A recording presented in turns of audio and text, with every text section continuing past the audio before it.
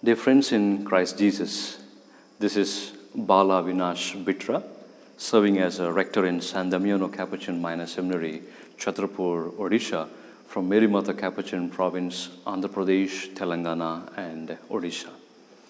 Uh, Well, uh, as far as uh, formation is concerned, first thing that comes to my mind is to become a little brother, a lesser brother, and that's what the intention of St. Francis of Assisi to become a friar minor, a minor brother.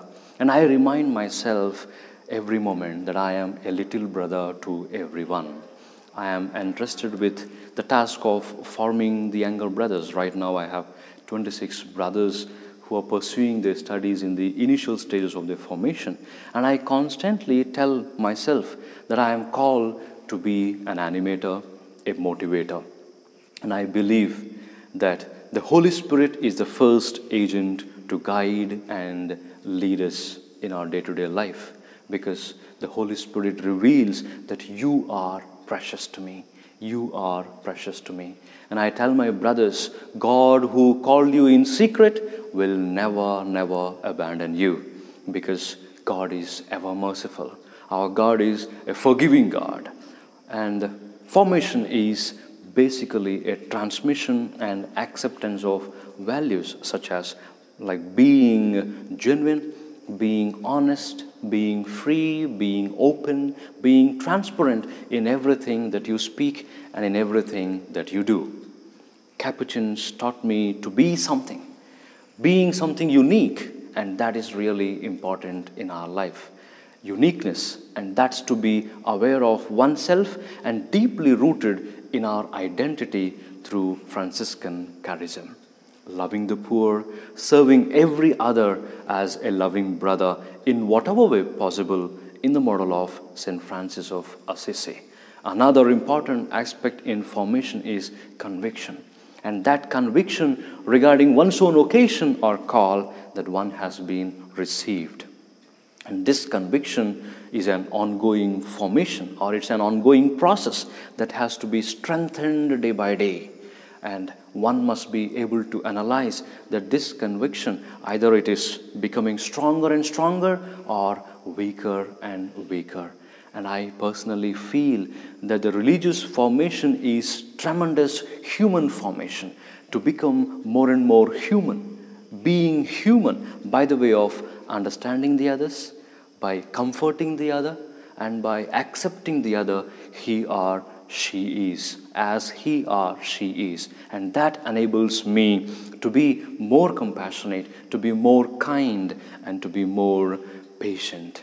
With all these, I think I have grown a more human being, and that gives me joy a joy of being a Capuchin, living a simple life by giving up possessions, properties, and so on. Being only son to my parents, coming from a well to do family, it was nothing hard for me to transform my life because God's abundant blessings were upon me and I had good number of friends, our own Capuchin brothers who pray for me during the times of trials and difficulties. And that gave me all the more strength to move forward, to face the challenges instead of escaping from the realities, escaping from the situations. And I strongly believe every sacrifice that you make, for every sacrifice, there is a reward. Every sacrifice that you make will be rewarded. And that's what our life is all about to make sacrifices, to sacrifice your life, a life giving sacrifice, taking the humble and poor Christ as the best model. And this word really touches me from the gospel according to St. John chapter 15, verse 13. No greater love than this to lay down one's life for his friends.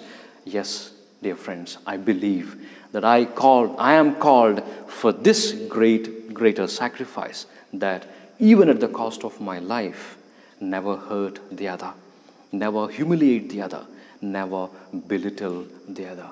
And here comes the question of who is my neighbor. For me, every other is a brother, a loving brother. Taking the inspiration from Ratio Formationis, in the first chapter, we see Francis, our brother, that all are equal. It's up to everyone to work with their hands. One's place of origin does not count, and that shows that every other is a brother. And I feel that the document is very relevant today because it highlights the purpose and priority of being a lesser brother, a minor friar. And it focuses on the world that what we are and not what we have is the greatest treasure in their life. And we have to be instrumental in the process of transforming the world. And in the words of Pope Francis, our Holy Father, world without walls, world without wars, world without poverty is still possible. And perfect joy lies in fulfilling these in the world. And this joy lies when we persevere in our vocation to go on being a brother to all without being or claiming anything as your own. In conclusion, may we take the inspiration of St. Francis of Assisi and make that inspiration alive in our life's journey and be a joyful Capuchin to serve the whole humanity. May God bless every one of us. Thank you.